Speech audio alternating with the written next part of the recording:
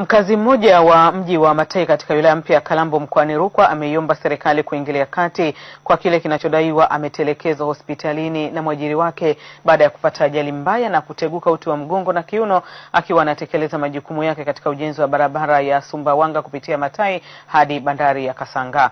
Richard Maganya, mwenyeji wa mkoa wa Shinyanga, yuko katika hospitali ya rufaa ya kanda ya Mbeya anapatiwa matibabu, lakini anadai mwajiri wake kampuni ya JV of CR 15 Century kutoka China amemtelekeza na hivyo kukosa matibabu na haki zake katika hospitali hiyo ya rufaa ya Mbeya. Mwandishi wetu Siacheo anayo taarifa kamili.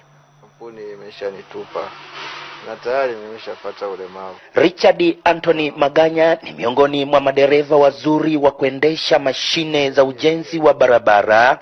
Yamemkuta ya kumkuta Juni kumi na tatu mwaka huu ambapo amepata ajali mbaya wakati akitekeleza majukumu yake katika ujenzi unaoendelea wa barabara ya Sumbawanga kupitia mji wa Matai wilaya ya Karambo mkoani Rukwa hadi katika bandari ya Kasanga kilomita mia moja kumi na mbili kwa kiwango cha lami. Nilipata ajali toka tarehe kumi na tatu mwezi wa sita na kampuni imenitelekeza. Niko hapa kwenye hospitali ya rufaa ya Mbeya. Hivyo nilikuwa naomba e, wanaohusika wanisaidie kwa sababu kampuni hiyo imenitelekeza. E, sina huduma yoyote ninayoipata kutoka kwao, na vile vile nimepata ma, maumivu ni, nimeteguka uti wa mgongo pamoja na kiuno na mguu wa kushoto umepooza. Kwa hiyo nahitaji matibabu, lakini kampuni imenitelekeza. Aidha, Richard Anthony Maganya ameenda mbali zaidi na kupeleka kilio chake kwa mkuu wa mkoa wa Rukwa Zerote Steven ili amsaidie kwa kuwa mradi wa ujenzi wa barabara unatekelezwa kwenye mkoa wake. Nilikuwa naomba mkuu wa mkoa aangalie kwa sababu hata wakati we, wa, wa maajibishano wakati na naomba wani wanisaidie walidiriki mpaka na kusema wazi kwamba eh,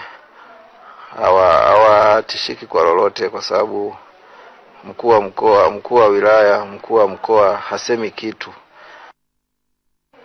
Eh, mimi hata niongee vipi?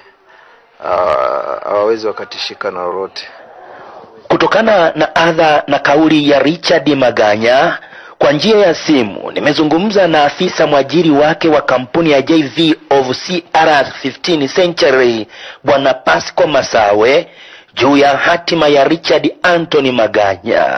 Kwenye mkataba kumeandikwa kwamba endapo utaumia ukiwa kazini,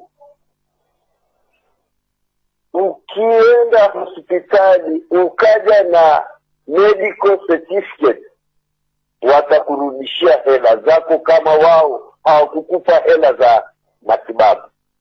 Nilikuwa namwomba Richard matatizo yake, shida zake, aache kukimbilia kwa waandishi wa habari, aache kukimbilia kwenye vyombo vya utangazaji, ajaribu kuwasiliana na sisi, kwa sababu tatizo lilikuwa ni kuwakilisha tu zile risiti. Kwa hiyo naomba awakilishe zile risiti, na mimi nitahakikisha nimesukuma. Kutoka hapa Mbeya, mimi Nosache wa TBC.